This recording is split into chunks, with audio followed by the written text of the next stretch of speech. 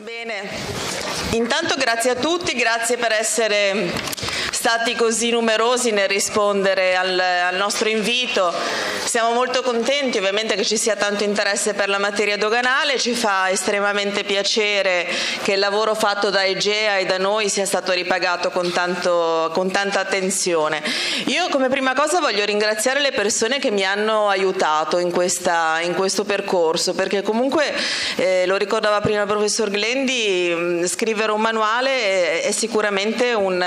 un regalo regalo che si fa a se stessi, un lusso perché significa rimettersi a studiare, rimettersi a riprendere i fondamentali, insomma eh, a ripercorrere un po' eh, quello che è il patrimonio eh, di, un, eh, di, un, eh, di, uno studioso diciamo, della materia, anche se una, una, parola troppo grande. Però è, un, è uno sforzo che non si può fare da soli, che si fa con altre persone che sono parimenti determinate e, e che hanno molta volontà e passione per questa materia materia. Quindi voglio ringraziare Valeria Baldi, Lorenzo Ugolini, Massimo Monosi, Lucia Mannarino, Maria Pia Sanguineti, Stefano Di Domizio, Francesco Pittaluga, Paolo Randazzo, Flavia Di Luciano. Sono stati tutti molto, molto pazienti con me perché sono molto sicuramente è una materia che mi appassiona da tempo, su cui ehm, certamente non ho, non ho fatto mancare puntuali e costanti revisioni, aggiornamenti, integrazioni integrazioni fino all'ultimissima bozza. Adesso parliamo della pianificazione doganale. Mm, sappiamo tutti come eh, quando mm, ci siamo avvicinati alla materia doganale, per quanto mi riguarda una ventina d'anni fa, sembrava una materia destinata un po' a scomparire no, dall'attualità delle aziende, perché si andava ovviamente verso l'Unione Europea e quindi al, al venir meno delle barriere doganali all'interno del, degli scambi intracomunitari, si eh, evolveva il mondo internazionale, quindi lo ha ricordato prima Ugolini, il WTO, il, la riduzione progressiva dei dazi. Si pensava in qualche modo che le dogane fossero destinate a essere un fenomeno del passato a scomparire. In realtà siamo di fronte ad un fenomeno invece diametralmente opposto. Il diritto doganale è più complesso, eh, involge interessi sempre più importanti sia sotto profilo organizzativo delle aziende che sotto profilo economico. Vediamo infatti che tantissimi fattori eh, convergenti hanno determinato questo fenomeno dell'outsourcing internazionale, per cui ormai moltissime sono le imprese che eh, si eh, concentrano soltanto su quello che è il loro core business, su quello che è per esempio la ricerca, lo sviluppo, l'innovazione, oppure anche segmenti quali il design, il marketing, lo sviluppo di brevetti,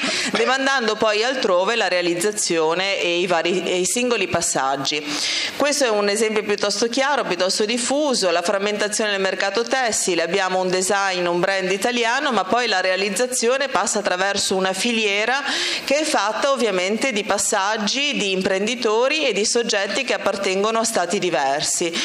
con un valore aggiunto che si va incrementando di passaggio in passaggio fino a ad arrivare poi al, al risultato finale e alla catena di vendita, alla distribuzione del prodotto. Quindi già nella realizzazione di un, di un singolo prodotto e alla, all'osservazione di quelle che sono le realtà aziendali di oggi, notiamo come il fenomeno doganale, anziché essere meno importante, è diventato via via sempre più importante e anche sempre più complesso e come necessariamente richieda un aggiornamento quotidiano, costante e un maggior livello di specializzazione. E abbiamo visto le, i dati statistici che abbiamo riportato all'inizio, lo ricordano, le aziende italiane che hanno tenuto meglio durante la crisi sono quelle che hanno venduto molto all'esportazione, sono quelle che si sono concentrate sul loro business, sui mercati eh, di destinazione, sono quelle che hanno ampliato la propria platea di clientela. Così come per quanto riguarda l'importazione, tantissime sono ovviamente le aziende che hanno delocalizzato nel modo in cui abbiamo visto in precedenza. Il fenomeno delle esportazioni e delle importazioni in Italia è importantissimo moltissimo. L'Italia è l'ottavo paese al mondo per esportazioni per un valore complessivo di circa 400 miliardi di euro, il dato è aggiornato a agosto di quest'anno dodicesimo per quanto riguarda le importazioni, con un sensibile incremento e miglioramento della bilancia dei pagamenti nel segno ovviamente positivo, mm, con un'inversione di tendenza rispetto agli anni precedenti. Quindi insomma i dati oggettivi ci dicono che vi è una forte eh, tendenza all'internazionalizzazione che però non è accompagnata da una pari attenzione e da un pari approfondimento. Nelle linee guida del WCO, della World Custom Organization, vi è proprio l'approfondimento, la specializzazione dei professionisti, dei funzionari, di tutti coloro che ruotano nel mondo doganale, attraverso proprio anche dei seminari, dei master, degli insegnamenti universitari. E vediamo che sempre più, confrontandoci con gli altri paesi, questo nostro tipo di approfondimento un po' manchi e viene spesso demandato proprio alla volontà, all'iniziativa dei singoli, mentre manca un mondo strutturato di appassionati di questa materia. Oggi quindi abbiamo questa consapevolezza che per le imprese e per la loro competitività è decisivo un, un approfondimento serio, un aggiornamento costante, una visione simultanea rispetto ad, altre, ad altri segmenti del segmento doganale. E quindi la pianificazione doganale è uno strumento fondamentale del business aziendale. Una frase um, ho sentito a Ginevra due settimane fa nel corso di un incontro al WTO, mi è piaciuta moltissimo e la riprendo. La competitività delle imprese e la loro crescita non sono più determinate soltanto dall'attrattività dei prodotti, ma in maniera sempre più crescente dalla corretta pianificazione dei tempi, dei costi e delle procedure doganali adottate. E questo mi sembra un concetto di partenza molto forte, molto importante e che eh, fotografa molto bene la realtà attuale. Quindi al centro dell'organizzazione aziendale vi è anche questo importantissimo fenomeno che spesso viene gestito con un'attenzione non appropriata rispetto alla sua decisività. Ormai da molti anni nelle aziende di medio-grandi dimensioni sono monitorati stabilmente tutti i fenomeni relativi al settore della finanza, così come al settore fiscale e c'è un, un approfondimento e una pianificazione specifica al millimetro percentuale percentuale. In ambito doganale invece questo non avviene. In ambito doganale spesso ci si dimenticano proprio questi aspetti fondamentali che sono qui riassunti. Le operazioni doganali determinano ovviamente il sostenimento di costi, dazi doganali, IVA, le anticipazioni finanziarie per la fiscalità doganale, per esempio utilizzare un deposito IVA o utilizzare diciamo così, un meccanismo di importazione diretta comporta due conseguenze diverse. Utilizzando il deposito IVA non c'è l'anticipazione finanziaria dell'IVA, se ovviamente lo si utilizza in maniera corretta, invece importando direttamente abbiamo l'anticipazione finanziaria materia dell'IVA che poi viene portata in detrazione ma che comporta talvolta dei tempi lunghi per i meccanismi eventualmente di rimborso. Quindi eh, la, la dogana poi ovviamente porta con sé tempi e costi di trasporto e di spedizione. Quindi tutta una serie di variabili, di elementi che non sono diciamo così fissi e inevitabili, ma che possono essere anche opportunamente studiati e ottimizzati da parte delle imprese. Poi spesso le aziende, noi lo vediamo molto nella fase diciamo patologica, non si rendono conto dei rischi che sostengono. Cioè le aziende spesso sono poco edotte, poco informate che tutti i rischi relativi alla non corretta individuazione della classifica doganale o anche addirittura dell'origine doganale nazionale, pur in presenza di certificati di origine magari preferenziale, danno luogo a contestazioni nei confronti dell'importatore, contestazioni che possono intervenire anche anni dopo la venuta importazione, tre anni se non c'è reato e che determinano evidentemente dei rischi molto rilevanti con delle conseguenze anche in termini di appostamento di fondi a bilancio delle aziende, sostenimento di costi per quanto riguarda le garanzie fideiussorie, costi processuali sessuali, eccetera. E poi ovviamente eh, incappare diciamo così, in un'attività di verifica, di controllo con visita fisica, con analisi può determinare anche del, ovviamente dei, dei, ritardi per quanto concerne la tempistica di consegna della merce e l'assolvimento di penalità commerciali. Quindi insomma ci sono delle aree di eh, studio, delle aree di costo, delle aree di rischio che vanno attentamente monitorate e per ottimizzare questi costi è necessaria ovviamente fare una, una check check-up, fare un'attenta analisi dei profili di rischio, delle possibili soluzioni, valutare le possibili alternative, riorganizzare anche e fare dialogare tra loro le funzioni aziendali. Molto spesso ci rendiamo conto che nelle aziende il segmento commerciale, deputato quindi alla vendita, non si interfaccia sulle problematiche doganali con il segmento amministrazione e finanza, oppure gli acquisti che si approvvigionano in mercati esteri dove poi vengono diciamo così, alla luce fenomeni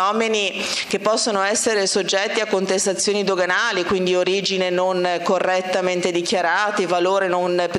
non dichiarato in maniera legittima, integrale. Ecco, in questi casi, tutte le volte in cui ci sono problematiche doganali ci si è resi conto che non c'è, fa- non c'è stata un'adeguata prevenzione, un adeguato monitoraggio degli acquisti oppure delle vendite, dei percorsi che potevano essere utilizzati in alternativa. Un altro aspetto che vedremo parlando anche di transfer pricing e valore doganale è la necessità di dialogo tra i consulenti. Chi si occupa di tasse e quindi di imposizione diretta deve dialogare con chi si occupa di dogane e quindi di fiscalità indiretta, eh, dazi doganali, IVA, accise. Ci deve essere ovviamente un dialogo. Quindi la pianificazione doganale in realtà è una prassi, diciamo così, che le aziende dovrebbero adottare sistematicamente. Molte lo fanno già, altre ovviamente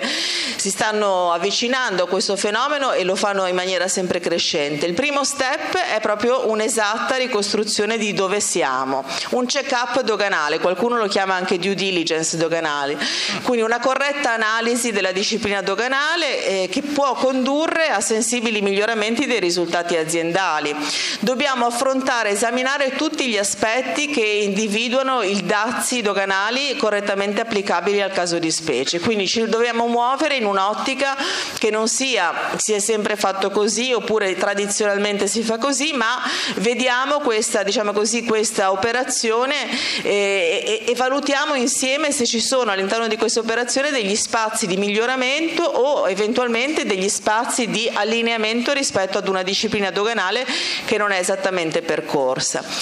Quindi rivedere insieme la classifica delle merci, il valore e l'origine, che sono ovviamente gli elementi essenziali del, dell'obbligazione doganale, per, consapevoli del fatto che un errore nell'interpretazione e nell'applicazione della normativa può determinare conseguenze rilevanti sia in termini di rischi che in termini di costi.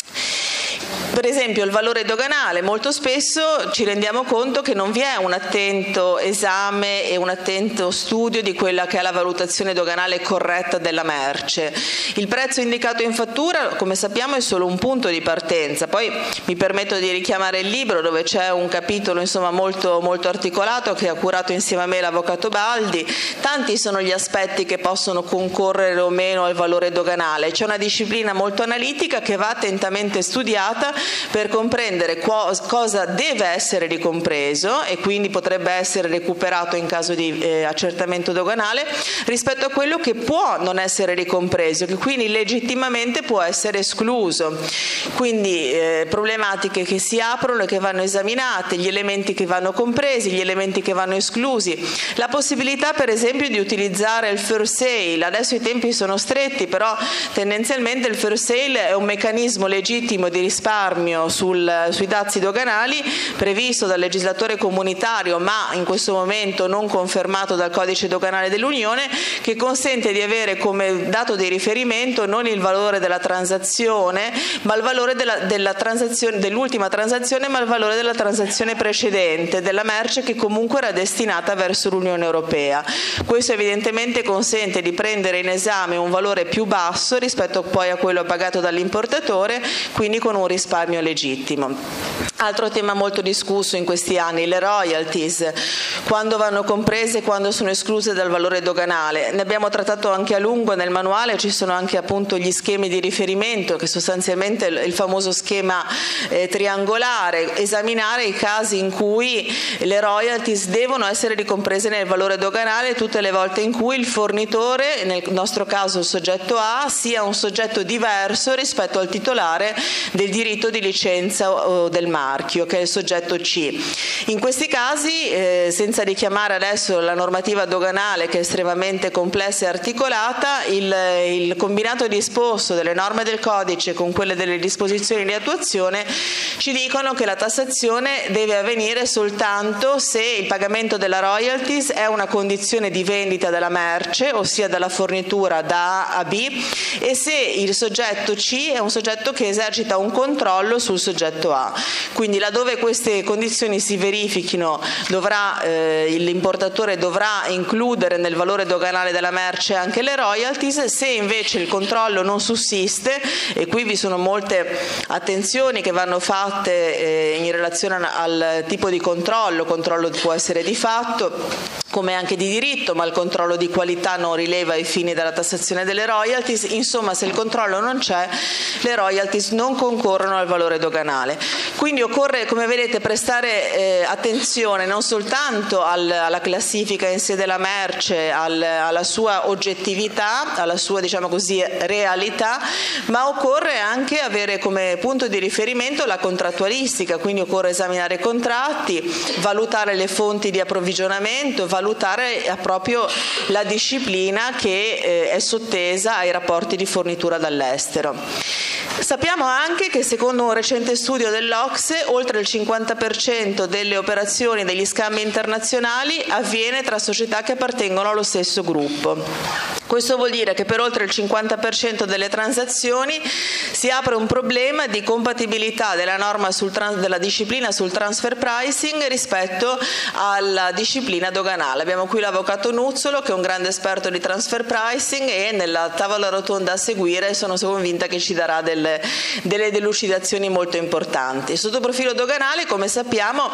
eh, abbiamo delle tensioni opposte rispetto a quelle che si rilevano sotto profilo delle imposte dirette ai fini delle imposte dirette l'esatta determinazione del valore deve condurre evidentemente ad una, ad una, eh, ad una situazione di possibile recupero della, de, a tassazione di materia imponibile. Ai fini doganali invece un valore doganale più basso significa minore incidenza dei dazi e quindi ci sono proprio delle tendenze contrapposte. Tant'è vero che si sono verificati casi eh, che sono diventati ormai casi di scuola di società di eh, operatori che hanno ricevuto contestazioni proprio sul valore della merce importata e in disegno completamente opposto. L'Agenzia delle Entrate eh, ovviamente procedeva ad una rideterminazione al ribasso del valore eh, dichiarato in dogana al fine di recuperare materia imponibile. Attraverso una riduzione dei costi, l'Agenzia delle Dogane invece operava un recupero al rialzo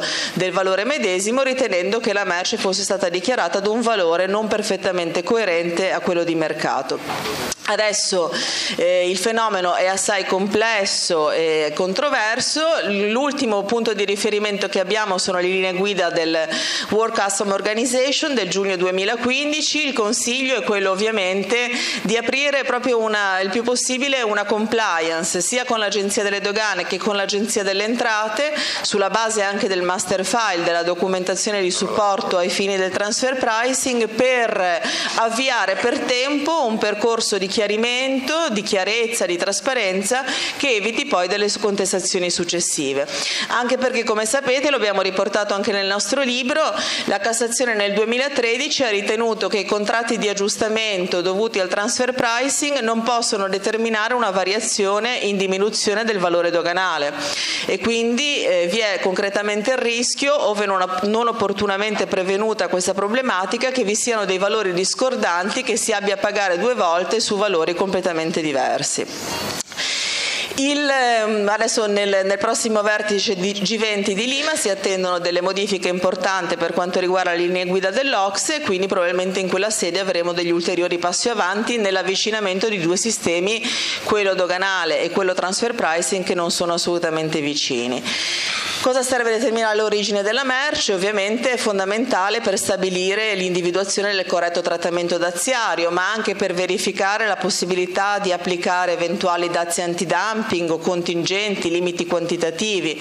È stato già detto, ci sono tipi di origine diversa, preferenziale e non preferenziale. La classifica della merce ovviamente un ulteriore elemento tecnico importantissimo. La classifica della merce molto spesso dà luogo a contestazioni che possono essere facilmente prevenute in due modi. In primo luogo, così come anche l'origine, come, come noto, in primo luogo è possibile esplorare la banca dati che si trova sul sito della Commissione europea proprio per valutare cosa eh, è stato già detto, come è già stata classificata quella merce, quel prodotto da amministrazioni doganali italiane o da altre amministrazioni doganali. E questo è già un punto di riferimento utile per avere un inquadramento di massima. Sappiamo però che le ITV, cioè le informazioni tariffarie vincolanti e le informazioni vincolanti in materia di origine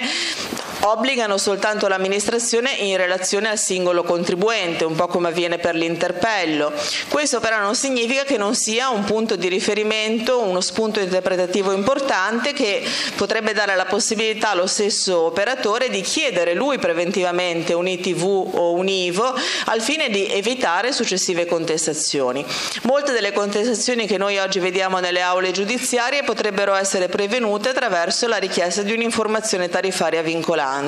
che non ha costi, che viene rilasciata dall'amministrazione e che tutela il contribuente di fronte a successive possibili contestazioni. Quindi lo scopo della pianificazione è quello di trovare dei meccanismi assolutamente legittimi, trasparenti di ottimizzazione del carico doganale, degli oneri daziari e finanziari e di semplificare anche l'attività amministrativa e logistica.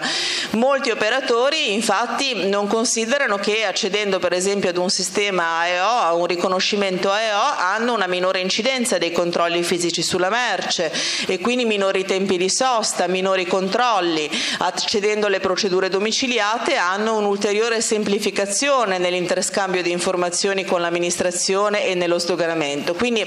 eh, l'utilizzo dei meccanismi, diciamo così, delle procedure più appropriate consente evidentemente anche dei risparmi notevoli in termini di tempi. Così come vi è anche ovviamente la possibilità di ottenere dei risparmi di tipo economico perché eh, per le, le, aziende che per esempio si trovano a operare la lavorazione su merce che già dall'inizio si conosce essere destinata a, al, ai mercati esteri, il meccanismo sicuramente più adeguato è quello del, del perfezionamento attivo e quindi della possibilità di attivare una importazione della merce o meglio del semilavorato destinato soltanto ad una lavorazione per ottenere poi la successiva riesportazione. Anche qui cambiano delle cose con il nuovo codice doganale dell'Unione, ma è importante rilevare come in questi casi non si ha una tassazione ai fini doganali di un prodotto che non è destinato al circuito commerciale europeo. Quindi torna un po' al discorso che faceva prima Lorenzo, ossia che il dazio doganale colpisce in maniera sempre più raffinata e più attenta quello che è destinato ad un mercato e non il solo fatto in sé del, dell'aver superato un confine geografico. Quindi il secondo step della pianificazione doganale, dopo aver fatto un monitoraggio, eh, bisogna trovare delle soluzioni alternative, capire se ci sono possibilità di evitare dei rischi e quindi trovare soluzioni più sicure, chiedendo, facendo leva su interpelli, su informazioni tariffarie vincolanti, e possibilità di trovare eh, appunto eh, delle, delle, delle, sintesi, delle, delle analisi attente per quanto riguarda appunto il valore doganale nazionale transfer price se si, se si opera in un contesto infragruppo, tenendo presente per esempio che proprio sono diversi gli elementi di riferimento perché eh, per quanto riguarda la valutazione doganale il concetto di eh, soggetti legati, di persone legate è molto più ampio, quindi la disciplina doganale eh, inerente il, il, la determinazione del valore nei rapporti tra parti correlate è ben più ampia ed estesa di quella che invece ai fini delle imposte imposte dirette. Dicevamo quindi valutare alternative, trovare delle soluzioni alternative che possano consentire dei risparmi e poi eventualmente anche cambiare proprio le linee di approvvigionamento se ci rendiamo conto che quel determinato fornitore non è sufficientemente competitivo perché il dazio applicato al prodotto originario di quel paese è più alto rispetto al dazio che sarebbe applicato ad un altro prodotto originario di un altro paese ma che ha diciamo così, delle caratteristiche oggettive assolutamente eh, analoghe e comuni. Riverificare, modificare la contrattualistica se la possibilità di individuare meglio dei segmenti di costo consente di escluderli dal valore doganale, una più precisa e dettagliata individuazione degli stessi consente dei risparmi legittimi. Valutare modalità di sdoganamento alternative. Per quanto riguarda l'export, anche ovviamente ci sono degli ambiti di miglioramento, quindi noi diciamo studiare, approfondire e migliorare. Eh, usare termini eh, no, eh, inglesi spesso nasconde tradisce una certa, una certa, insicurezza. Noi riteniamo invece che il fondamento di una, di una corretta pianificazione sia sicuramente conoscere, approfondire e eh, atten- mm, tentare di mantenere costante, un costante aggiornamento sulla materia nel nel, con l'obiettivo di migliorare le, proprio, le performance aziendali, con l'obiettivo di ottenere dei sensibili costi eh, ridotti, dei, dei, sensibili risparmi, perché non dimentichiamo che un dazio doganale mh, applicato nella misura del 5% piuttosto che del 6% può incidere notevolmente sul business plan di un'azienda e quindi trovare delle formule di ottimizzazione, di esonero, di agevolazione certamente fa una grande differenza. Così come al contrario eh, subire poi un accertamento che contesti l'applicazione di un dazio antidumping per il 60% del valore del prodotto fa un'ulteriore differenza in senso peggiorativo. Quindi aspetti che incidono in maniera decisiva sul business plan e sulla tenuta di un bilancio aziendale. Per quanto riguarda l'export, un aggiornamento costante sugli accordi commerciali e tariffari. Lo ricordava prima Lorenzo, eh, sottoscrivere un accordo internazionale significa creare dei mercati di sbocco che prima non si avevano, significa poter entrare sui mercati esteri a condizioni particolarmente vantaggiose e competitive avendo un, uno sconto, una riduzione considerevole dei dazi, quindi un'immediata diciamo, competitività con i prodotti interni. Diventare esportatore lavoratore autorizzato no? per evitare, eh, per quanto riguarda per esempio le certificazioni di origine, per evitare procedure, contenere la tempistica, i costi amministrativi relativi alle varie autorizzazioni, la valutazione di possibilità di utilizzo dei regimi doganali per tutte le volte in cui si deve eh, utilizzare appunto meccanismi di trasformazione e di lavorazione di prodotti che sono destinati poi definitivamente all'estero e poi ovviamente sempre approfondire i rapporti tra valore doganale e trasferimento transfer pricing, che è una, un, diciamo così, un mantra che va sempre ricordato nei rapporti infragruppo. Insomma, noi abbiamo cercato di studiare questa materia mettendoci anche un po' di dinamismo e la volontà di offrire un, un punto di vista il più possibile anche eh, concreto e utile per gli operatori. Speriamo di esserci riusciti. Vi voglio ricordare che l'incontro di oggi ha avuto per fortuna, ha riscosso per fortuna un grande interesse, quindi si replicherà il 25 di novembre e questo ci consentirà di tornare su questi temi con tutti coloro che non hanno potuto iscriversi perché le iscrizioni si sono chiuse avendo raggiunto il numero massimo dei partecipanti. Quindi ringrazio tutti e poi diamo la parola alla tavola rotonda. Grazie.